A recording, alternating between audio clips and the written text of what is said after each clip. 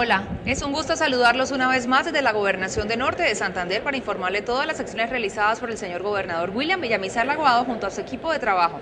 Bienvenidos a Un Norte para Todos.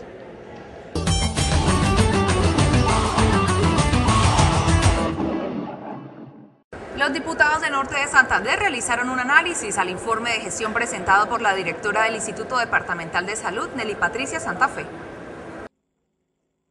Con la revisión a la gestión del 2008 se pasará al tema fundamental en salud que para el gobernador de Norte de Santander está ubicado entre sus prioridades de mandato, la reestructuración de las empresas sociales del Estado que operan en esta sección del país. Analizar no solamente la parte geográfica, sino la parte eh, operativa de la misma, de tal forma, como decía inicialmente, sea o sea, se mejore el servicio, se mejore la calidad y este servicio también sea oportuno. A mí me preocupa mucho la de Chinácota, la de Chinacota requiere llegar a una, estabilidad económica.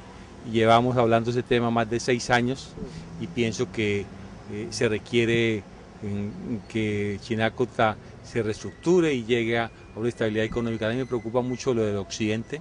Lo que se desarrolló fue un análisis a la gestión del actual gerente y el equipo de asesores del Instituto de Salud del Norte de Santander. Por ejemplo, en aseguramiento, eh, eh, iniciamos con, un, con una cobertura del 60.1%, eh, buscamos que en el 2008 alcanzáramos el 75%, finalizamos el 79% y pues tenemos una meta cumplida del 100%, más del 100% estipulado. La reestructuración de las ESES quedó para el próximo periodo que iniciará el primero de junio.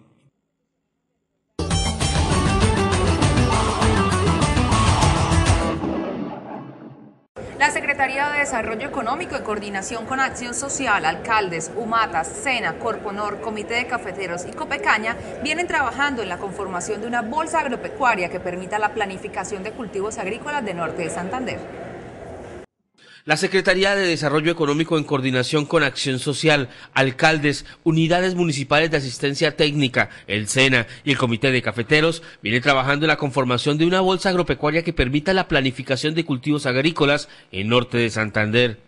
Estamos recolectando todos los temas, el tema de cañicultores, palmicultores, el tema de cacao, la parte hortifrutícola, la parte forestal, la ganadera y especies menores, en mesas de trabajo donde cada municipio está dando cuál es el proyecto de importancia macro que desea que todas las entidades le apoyemos. La funcionaria al referirse a los recursos comentó que el año anterior Acción Social invirtió solamente en la zona del Catatumbo 136 mil millones de pesos, sin contar el resto de los municipios del norte de Santander. Queremos que nuevamente el, el departamento se impulse, como es su sentido de ser cafetero. Entonces yo creo que todo este enriquecimiento que estamos haciendo, toda esta planificación, nos va a servir ahorita para dejar muy claro hacia dónde va toda la inversión en cada producto. En la actualidad se podría estar hablando de contribuciones por parte del programa de familias guardabosques, la gobernación y otras entidades de unos dos mil millones de pesos para proyectos productivos.